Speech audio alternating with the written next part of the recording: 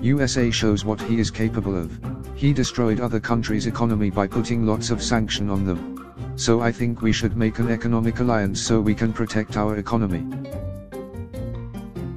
I don't think USA is threat for me. Actually he is helping me for building my economy after 1991. India, your dependence on dollar is increasing too much. And dollar is the biggest weapon of USA. We are emerging nation you should be in our team. Okay I am in.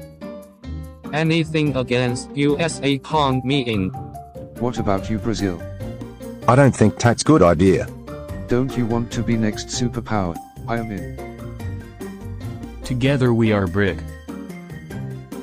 Ah guys there is space of one chair so, can I join? Okay,